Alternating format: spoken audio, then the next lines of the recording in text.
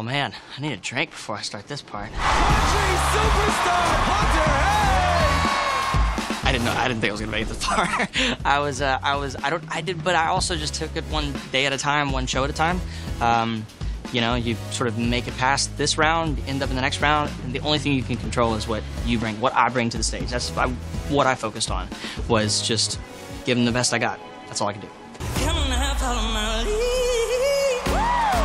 I'm really proud to have made it this far. For a while, I thought Astro should be someone other than myself, but I learned that the moments where I slipped up on being a character, broke my character, and then became myself accidentally in the suit were the moments that people were like, dude, that was awesome. And I was like, was it? Because I did.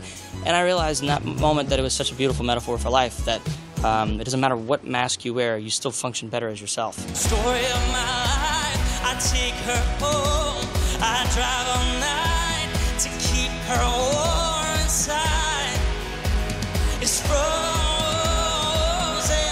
performing without the mask for the first time was uh, both weird and easier. It was nice to be able to look people in the eye and actually interact with. I almost, I, honestly, I forgot that I could do that for a little bit.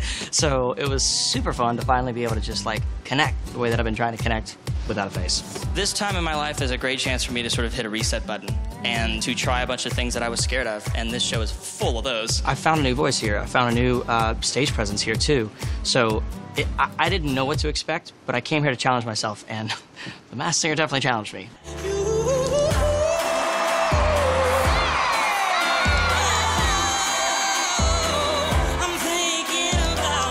This was kind of a chance for me to see that I love performing. I love the limelight, but at the end of the day, performing is my heart and soul. That's the best part about making music is that moment, that connection, that thing that I was working on the whole time that I was on the show. So my experience being anonymous um, helped me reconnect with the parts of what I do that I love.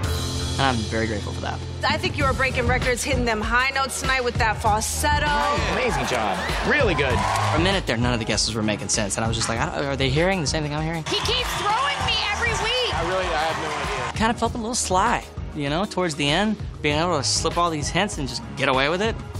Come on. I mean, when you think about the clues, right? Everything from uh, Dear God, which is a song off my last album, um, to Wanted, which is on my first album, Storm Warning, Crazy, The Bridge, Road Bridge, The Guinness World Record, Mardi Gras, Louisiana, there was a French horn. We had just laid all the hints on where I was from and the fact that I have sung in French in the past. To be honest, there were a couple clues I didn't really know anything about. Orion's Belt, for instance, I had no idea that translated to hunter. Um, I was pretty convinced that the king cake was going to be the the uh, the the icing on the cake. I mean, the list goes on. The team that works on these costumes is incredible.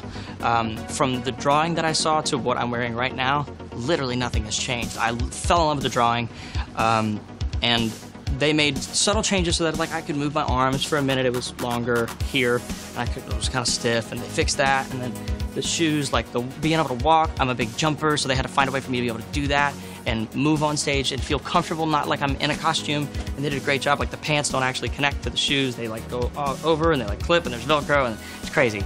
And uh, it's actually super easy to get in and out of, which is something I'm very grateful for when you're, uh, you know, 150 degrees coming off stage. This has been such a beautiful reset for me. And by reset, I mean this has been such a beautiful place for me to find the voice that I've always had, but couldn't connect with until now.